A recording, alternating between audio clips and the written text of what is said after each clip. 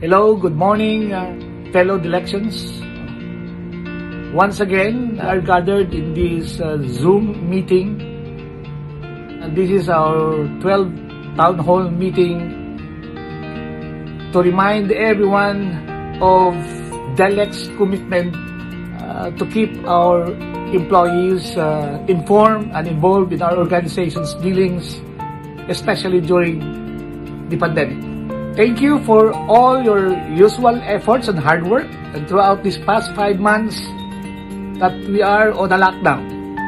Our limited uh, mobility made us realize how uh, vulnerable we humans are. We may have had uh, difficulties to keep our business afloat, but we have seen how dedicated each and everyone has been in performing his duties as a election. A lot of adjustments and sacrifices have been done to be able to cope with our situation. And this may be the biggest challenge as we have so far in our existence in 11 years, but we will continue to show our flexibility, our resilience as an individual and as an organization. Remember, we are in this together. And always be reminded that companies like ours have crucial responsibilities at this time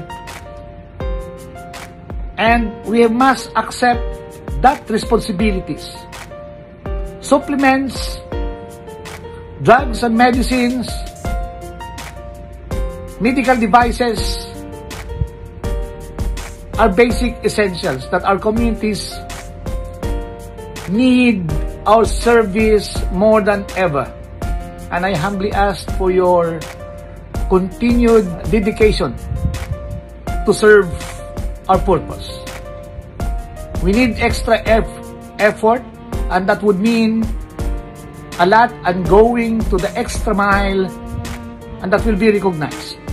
Rest assured that the management will support you in the best way that we can possible in this endeavor, especially since business continuity would only be possible if we stay focused, dedicated, and committed. Everyone's safety will always be our initial concern. And in this regard, measures have been set up to ensure this. Let us all avoid getting sick. Let us avoid contracting and spreading the virus by following health protocols. Please stay safe and healthy for DELEX and for our families. We shall continue to open our communication to address concerns that affect our work performance.